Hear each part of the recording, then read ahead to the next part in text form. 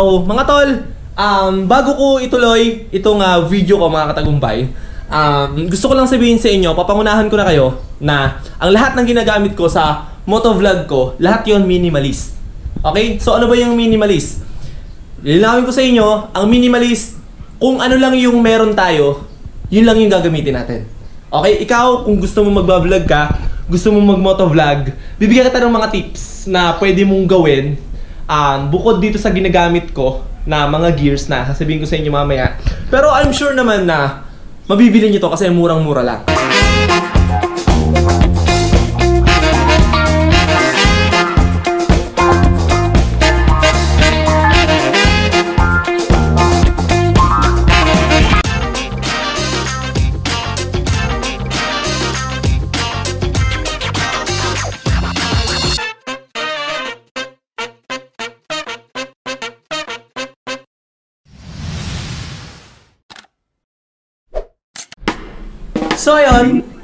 Magandang hapon sa inyo mga katagumpay at nakita ko naman, kinilik itong video na to kasi nakita nyo na um, ituturo ko sa inyo yung mga ginagamit ko sa aking motovlog.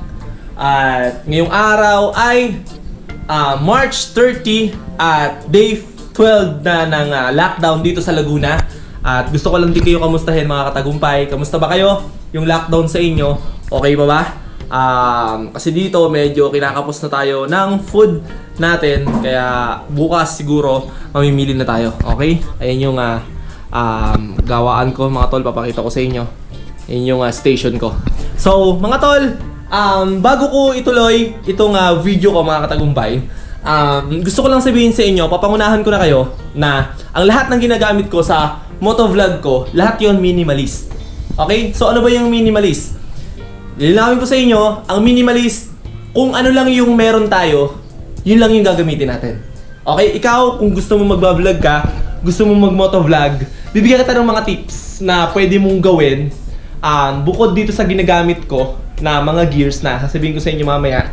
Pero I'm sure naman na mabibili nyo to kasi murang-mura lang. Okay? Ah, sabihin ko rin sa inyo mga katagumpay, um, yung software na ginagamit ko sa laptop, okay? Pero meron din akong ituturo sa inyo sa cellphone kung gusto nyo talaga mag-vlog, kung mag-motovlog kayo. Kahit ano naman, kahit di naman motovlog, um, applicable ito mga katagumpay sa lahat ng mga gusto mag-vlog. Okay? So, marami tayong time ngayon, hindi tayo makakalabas. Ituturo ko sa inyo yung mga basic na dapat nyong malaman sa motovlog at mga gears and equipments na ginagamit ko, lalong-lalo na kapag nasa daan tayo. Okay? So, ang gamit ko ngayon, GoPro. Sasabihin ko din sa inyo kung bakit nag, ah, ah, nag-iba tayo ng setting kay GoPro dahil nahihirapan si laptop natin na i-render, i-render or i-save yung video na ginagawa natin kasi masyadong mataas yung ating ah, resolution dito. Okay? So, mga tol, siguro sisimulan ko muna dito.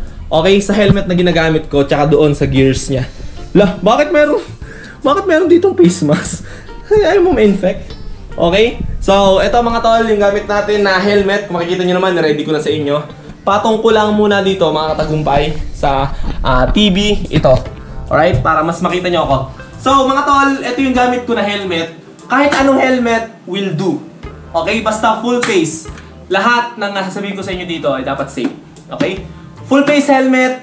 Gamit kayo ng full face helmet dahil isa ang full face helmet na ginagamit nyo dapat. Kasi ah para iwas aksidente kayo. Okay? Aksidente, nandiyan na yan, pero para malesen lang yung aksidente. Hindi tumama yung mukha nyo. Okay? Sa helmet naman, kung wala kayong pambili, go for HJ, HNJ na helmet o kaya KYT na tigti 3,000. Ito kasi 2,800. KYT, ah parang siya yung pinaka-mid na gusto kong ah, i-offer sa inyo dahil sobrang tibay niya. Kung makikita niyo yung mga review niya, hinahataw siya ng maso, bali wala sa kanya. Okay yon pero full face helmet. Okay? So, ito, paano ko ba na-mount tong um, GoPro ko dito sa aking ah, helmet? Kung makikita niyo mga tol, may binili ako na ah, minamount ko dito sa helmet ko. Ayan, bukod dito sa minamount ko. Ito, kita niyo yan? Itong pang letter V na yan. Meron yan sa Lazada na tig ah, tig 300 pesos. O, 300 lang yan mga tol ha. So, ibig sabihin, i-complete nyo na. Ah, hindi ko nilalagay sa screen, computein nyo na lang sa isip nyo kasi konti lang naman to. 300 lang ito. Ito namang takip ko ng GoPro, mga tol, ito ay nasa 250 lang. O nasa, ano lang tayo, 550. Ay, kasama na to. Meron na kayong mounted dito. Ito ay sa pang GoPro lang. Alright? So, meron ako sa inyong ah, ibibigay sa inyong idea kung wala kayong pambili ng GoPro. Kasi itong GoPro na ginagamit ko, ayan, GoPro Hero 5 yan, mga katagumpay. Nabili ko lang yung unit niya na 4,500. Unit lang yan, walang extra battery. Okay? Go for GoPro. Mga tol, kapag nag-motovlog kayo, go for GoPro. Okay? So, tulad nga na sabi ko, kung wala pa kayong GoPro, ay meron tayong GoPro na mas mababa, SJ Cam, or um, Aki, Aquino, ah, hindi Aquino.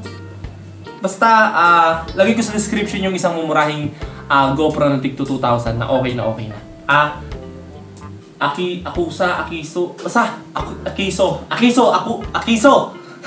basta yun. Tapos, ah, kung wala kayong ah, GoPro mga tol, merong nabibili sa Lazada na pang mount sa helmet na cellphone.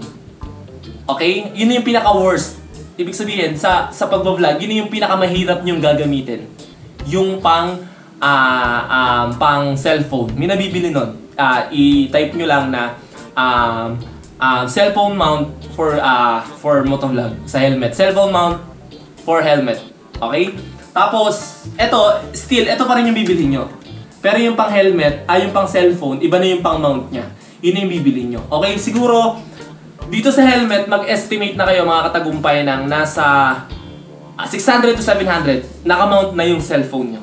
Makakapag-motovlog na kayo. Alright? So, tago na natin to kasi wala naman masyadong komplikado dito eh. Okay? Dun sa mga maghahanap nga pala mga katagumpay sa atin ng ah, ah, audio, ng audio na good audio, hindi na.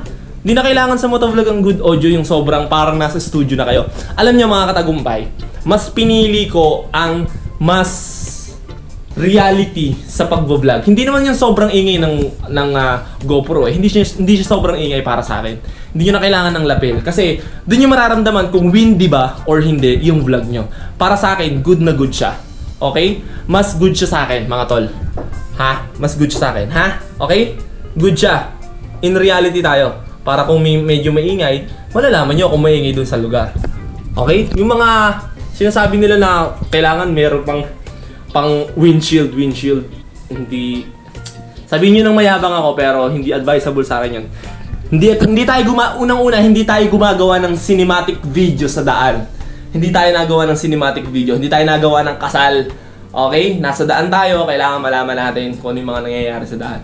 Alright? Eh, pero nasa sa inyo pa rin. Kung gusto niyo na medyo para kayong DJ dun sa pagsasalita nyo habang nagmumotor kayo, hindi narinig yung motor nyo, eh, nasa sa inyo na yan. Okay?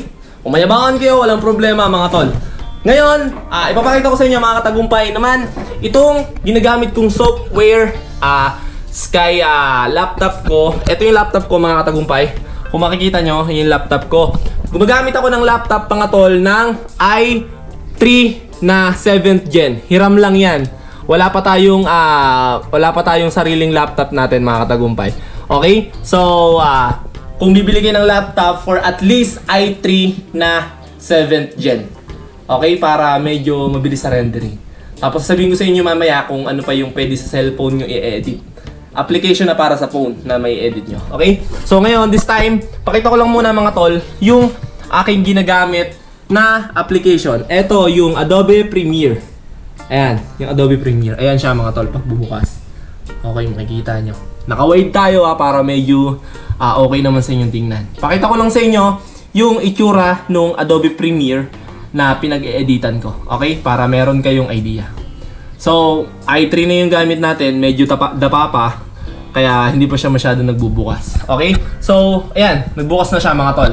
Kung makikita nyo, kapag mag-create ako ng ah, aking file, makikita nyo, project, new project, ayan, pag mag edit ako mga tol, okay lang natin. Yes. Ayan. Makikita nyo. Ito yung realidad ng lahat ng motovlogger, lahat ng vlogger, kahit hindi motovlogger, ayan ang ginagamit mga tol. Itong application ng lahat ng ginagamit ng mga motovlogger. Adobe Premiere. Okay? So, ayan yung workstation niya. ba? Ayan, napakita ko na sa inyo. Dito na dinadrag, tapos dito kami nag edit ng by sequence. Okay? Madagdag ko lang, ito yung ginagamit ng GMA7. Okay? ABS-CBN, yes. Kahit tanong nyo pa kay Boy First Time, Adobe Premiere ang ginagamit nila. Okay, vlogger din yan si Boy First Time. Tropa natin yan. Tapos, pakita ko sa inyo, pag kukunin ko na yung SD card dito sa aking ah, cell, sa aking GoPro, meron akong um, card reader. Hindi ko dinidirect, dinidirectang i, ah, i-install, ay i, i-mount yung ah, GoPro ko dito sa laptop ko kasi pwedeng ah, magka-virus tong GoPro ko. So, i-transfer nyo lang using this ah, mumurahin na CDR King na ah, card reader. Okay, 10 pesos lang to mga tol. Okay, oh, so wala pang 1,000 lahat. Ito lang ang medyo mabigat, mabigat choices nyo kasi meron tayong storage. Gumagamit ako mga tagumpay ng ah, hard drive para sa storage ko. Just in case na ma-delete yung lahat ng file natin dito kay kay ah, laptop natin mga tagumpay.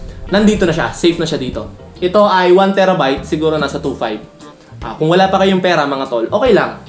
Okay lang, huwag ka munang bumili. Pero kung nagkapera ka, advice ko sa'yo, bumili ka ng ganito.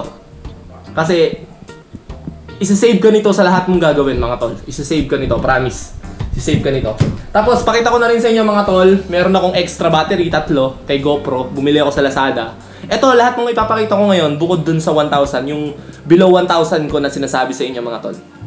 Lahat to additional na lang. Ibig sabihin, lahat to extra ko na lang na binili. Tatlong battery na Telecine, nasa 1.8. Alright? Huwag nyo na i-add to kasi ah, additional lang to. Nasa sa inyo kung mag-add kayo. 1.8 tatlong battery na yon. Sinesave ako nito sa buong araw na pagbablog ko. Sobrang sulit, tatlong battery. Okay? So, tapos meron akong um, ah, card, memory card, tatlong memory card ah, na 64 gig. Okay? Kahit isang buong araw, hindi na kayo bibitawan nun. Maniwala kayo sa akin. Bibitawan na kayo ng mga jowa nyo. Pero yung mga sinabi ko sa inyo, hindi kayo bibitawan. Makakapag motovlog kayo. Promise yan mga tol. Okay? So, kung ngayon ka pa nanonood sa vlog ko, kung hindi mo pa kilala si Maxine, papakita ko sa inyo si Maxine.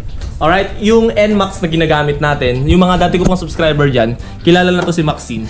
Ayan, si Maxine. Na ginagamit natin mga tol. Isang NMAX, Yamaha NMAX na non-ABS. Pogi ba? Yan yung sticker natin mga tol, oh. Alright? So, hindi ko napapakita yan sa inyo. Sa mga nakakilala sa akin na dati ko ng subscriber, mga tol, ah, matagal na natin ginagamit si Maxine. Siguro mga nasa 6 months ko na siyang ginagamit. At masasabi ko sa inyo na Yamaha, always rev your heart kasi napakatibay niya. Tsaka, yung handling ng ah, NMAX, sobrang smooth para sa akin. Tsaka, spacious yung mga lagayan niya. Pero nagpadagdag tayo ng ah, um, U-Box na galing kay Chris Legarda. Sponsor natin. Chris Legarda, shout out. Ayan. Binigyan tayo niya ng 32 liters na sec na box kasi isa yun sa pinakamatibay at mura. Ang presyo ng sec ay nasa 1.8 lang. Tapos, yung, pwede ko ba sabihin dito yung presyo? Basta PM nyo na lang siya mga tol. okay? So, yun lang yung ngayon gusto kong ah, ipakita sa inyo mga katagumpay kasi wala ako masyadong ginagawa. Naisip ko na ipakita sa inyo ah, transparent yung mga ginagamit ko. Alright? So, yan. Yan lang yung working station ko. Ganyan lang ako simple mag-edit. Ayan, ngayon, i-edit ko na to mamaya. I-edit ko na dyan, lalagay ko na dyan. Tapos, eto na, pinapanood nyo na. Okay? So, ganun lang kasimple. Wala naman ako masyadong ginagawa. Tapos, minsan, kapag ka-trip ko na hindi i-mount dito sa helmet ko, ayan, dito sa helmet ko, yung GoPro ko, gumagamit ako ng ah, ah, ng ah, tripod, okay? Pakita ko sa inyo yung tripod ko pala mga tol. Ay yung um, ah, GoPro mount ano natin? Ah, tripod, okay? Ito, ah, monopod pala mga tol. Ito, ginagamit ko. 'Di ba? Kung makikita niya, nakahaba to eh. Pakita ko sa inyo mga tol ah. Papahaba ko to. Ito. Classic oh. Classic ang vlog natin ngayon. Wala masyadong cuts. Okay? Ayan. Napahaba ko siyang ganyan. So, kapag ka nasa adventure tayo or nasa mga bundok tayo, pinapahaba ko lang siya na ganyan. So, nagsasalita tayo dito. Siyempre, itong GoPro nandito sa unahan. Okay? So, ito naman mga katagumpay, nagpe-presyo to ng nasa um, 499 or 599. Sa ganun. Additional lang ulit to. Pero yung mga sinabi ko sa inyo mga tol, ay ah, Ah, presyo lang yon nung ah, below 1,000 kanina. Ito mga additional lang natin. Kumbaga mga add-ons, okay? So, yung bago ko makalimutan mga tol, yung ah, sinasabi ko sa inyo kanina na pwede yung ah, cellphone, ano ba? Sa cellphone naman kayo nag ah, ah, nag-capture ng motovlog nyo or kahit anong vlog nyo, um, meron kayong libreng ida-download na KineMaster. Use KineMaster, very um, andaling gamitin, very accessible. Ayoko na magsalita dito ng mga kung ano-anong word kasi baka magkamali na naman ako, i-bash nyo na naman ako eh. Sobrang accessible nun, um, madali siyang gamitin, madali mag-save. Ah, KineMaster, ah, i-download nyo lang sa Play Store or kung ano man yung gamit nyo. Kung Android man yan or ah, Apple, download nyo lang. Drag nyo lang dun yung mga video na kinapture nyo galing sa cellphone nyo. And yun, okay na. Upload nyo na sa YouTube. Ganun kadali mga tol. Hindi mahirap mag-vlog, hindi mahirap mag ah, maggawa ng video. Kala nyo lang mahirap kasi hindi nyo pa nasisimulan. Simulan mo na ngayon, subukan mo na. Kasi kung ah, gusto mo talagang maging content creator tulad ko, pag hindi mo sinimulan, hindi ka magiging kagaya namin. Okay? Lagi mo lang tatandaan, bash man yan, bad comment man yan, good comment man yan, lagi mong mamahalin yung mga subscriber mo. Bakit? Kasi sila yung mga tunay na nagmamahal sa'yo. Ako, mas mahal na mahal ko yung mga nagbabash sa akin eh. Okay? Yung mga nagko-comment lagi sa akin dyan, kilala ko na kayo lahat. Pero, ganun pa man, mahal na mahal ko kayo. Okay? Kasi kasama ko kayo sa adventure ko. Ikaw, kasama ka na lagi sa adventure ko. Marami man akong maling nagagawa palagi sa vlog ko. Pero natutuwa ako kasi lagi ka nandito sa vlog ko. Ganun kayo kalupet para sa akin. Alright? Kaya, alam ko naman, darating, darating ang, ta- ang tamang panahon, dadami tayo. Ngayon, 32,000 subscriber na tayo. Bukas, 50k subscriber na tayo. Next day, next month, 100k subscriber na tayo. Okay? Amen! so, yun lang mga katagumpay. Maraming maraming salamat sa pagsama. At pakita ko rin yung pamangkin ko. Ayan, apir. Palagi yung, lagi yung nasa vlog ko eh. Ano, nag-basketball ka ba? Ha? Panalo? so, ayun. ah, maraming maraming salamat. Kung bago ka pa lang sa channel ko, ay bukas mamimili tayo ng ah, kakainin natin kasi wala nang laman yung ref namin. Tingnan natin, baka nagmahal na yung mga food ngayon kasi day 12 na nung lockdown eh. Okay? Check natin bukas. Tapos, sabihin ko rin, sabihin nyo rin sa akin kung nagmahal na rin ba yung mga tindang gulay sa inyo at saka ibang goods. Okay? So, papaalam na ako mga katagumpay. Maraming maraming salamat sa pagsama sa akin ngayong hapon. Isang mabilis na vlog lang to. Huwag mo kakalimutan, click yung subscribe button at notification bell para ma-notify ka palagi sa mga vlogs ko. Maraming maraming salamat. This is your man, JTB again. Hingang malalim in peace out. Ingat kayo palagi. Walang lalabas ng bahay. Stay at home kung kinakailangan lang bumili, saka lang lalabas. Lagi magmask at mag-alcohol. Peace out. Bye-bye. Ride safe. Hee.